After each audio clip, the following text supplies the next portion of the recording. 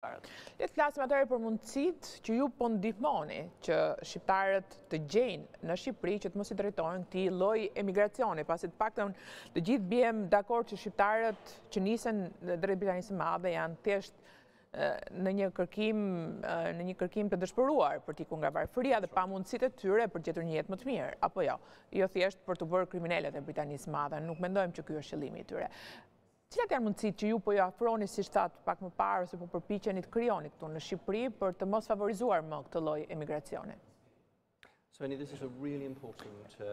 Eni, uh, kjo është çështje shumë e rëndësishme dhe besoj se jemi vetëm në fillim të një investimi shumë të rëndësishëm uh, për të ofruar më tepër mundësi këtu në Shqipëri. Patjetër, gjë e rëndësishme është që Shqipëri, ekonomia e Shqipërisë është të jetë e suksesshme në nivel ndërkombëtar, prandaj po investojmë në të gjithë vendin dhe gjithashtu në infrastrukturën kombëtare dhe përpjekjet kombëtare për të përmirësuar ekonominë e Shqipërisë. Mbretëria e Bashkuar do të jetë një partner i shëndoshë në këtë pikëpamje, sepse kjo është mënyra më e mirë për të ndihmuar Shqipërinë të zhvillohet, por gjithashtu ka pasur edhe mungesë investimesh historike në veriun e Shqipërisë dhe historikisht ka qenë Zona nga ku shumica e shqiptarëve vijnë drejt Mbretërisë së Bashkuar dhe patjetër një numër shumë i madh i atyre që kanë ardhur vitin e shkuar janë patjetër nga këto zona veriore. Kështu që një nga gjërat që po bëjmë dhe faktikisht javë, muajin e shkuar filluam zbatimin e një programi thelbësor që e quajnë Perspektiva të reja që po vepron në rajonin e Kukësit, në qarkun e Kukësit për të ofruar më tepër aftësi, më tepër punë dhe të ndihmojnë bizneset e vogla të rriten. Pra nëse një biznes tani mund të punësojë 5 veta, në të ardhmen punësojnë 10 ose më tepër, në mënyrë që realisht të rijetësojmë ekonominë e rajonit. Por nuk bëhet fjalë vetëm për ekonominë ekzistuese qoftë kjo bujqësore apo tjetër. Ka një potencial të madh turizmi, ka mundësi të mëdha në teknologji dhe në shërbime të tjera. Këto mund të bëhen kudo në botë dhe patjetër kudo në Shqipëri. Kështu që duam realisht të sjellim një jetë ekonomike në veri. Kemi filluar në Qarkun e Kukësit, do të kalojmë në Dibër.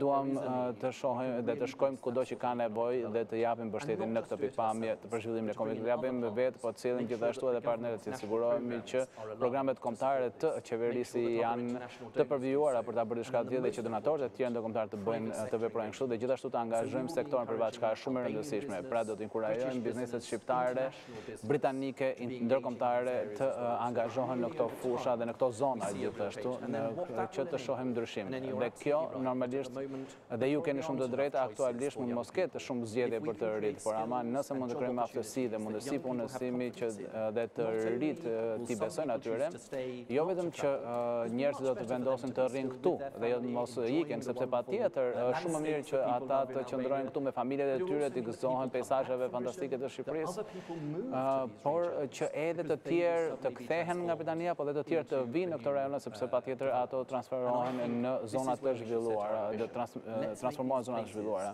Që kjo është ambicja, t'i bëjmë këto vende fantastike për të jetuar dhe për punuar, dhe jo me hapa të vegjël, por realisht me zhvillime të qenësishme, që do të transformojnë këtë realitet, përfshirë edhe migracion. Në këto projekte që keni dhe këtë vizion që keni për këtë gjë, në përpjekjet tuaja qëndron edhe mundësia për të bindur qeverinë të bashkëpunojë, apo jo? Si e keni gjetur përgjigjen e qeverisë deri tani, ju pyes pasi ka patur një deklaratë të kryeministrit i cili ka thënë që me kandidatët e bashkive që dalin fitues nga koalicioni Bashkë Fitojmë, ku është edhe Sali Berisha non grata, nuk do të bashkëpunojmë dhe dimë që zakonisht bastionet e Partisë Demokratike janë gjithmonë në veri të vendit. Patjetër duhet të pyesni partitë politike për këtë, por pozicioni im është i qartë dhe bashkëpunimi faktikisht që kemi pasur me të gjithë institucionet kombëtare ka qenë shumë pozitiv dhe ka një mundësi reale pas zgjedhjeve për një transformim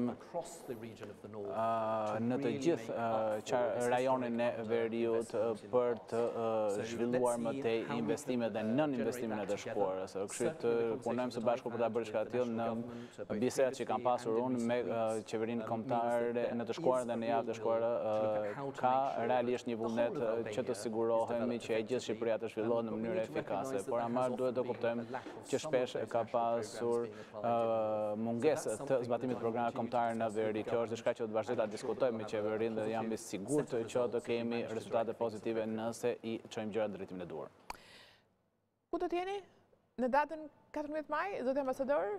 Ju herë pas here shkoni në terren apo jo? Do të jeni në E kemi përcaktuar ende, por si ambasadë do të vëzhgojmë në të gjithë vendin dhe do të jemi së bashku me misionet e tjera diplomatike të sigurohemi që i gjithë vendi të mbulohet. Kështu që nëse ka abuzime ditën e zgjedhjeve të identifikohen në mënyrë të japim le të themi një simbolikë për votuesit që të ndihen që është e sigurt të dalin, të votojnë dhe që të votojnë dhe të mos influencohen dhe të mos kërcënohen gjatë asaj dite. Faktikisht unë nuk e kam përcaktuar ende, mund të jem në veri, por do të shohim, por besoj se do të kemi disa këndvështrime të rëndësishme në ditën e zgjedhjeve dhe është moment i rëndësishëm për demokracinë në Shqipëri dhe dua të theksoj edhe një herë për të gjithë qytetarët Ju lutem dilni votoni dhe votoni për dikë që realisht do të përfaqësojë interesat tuaj. Zoti Ambasador, faleminderit që ishit në Open sonte. Eni, një kënaqësi e madhe. Shumë faleminderit. Jeni i mirëpritur. Faleminderit. Faleminderit juve. Publicitet dhe pas pak minutash do të jemi këtu me Ilirjan Celibashin, kreun e KQZ-s për të kuptuar më tepër rreth administrimit të ditës së zgjedhjeve.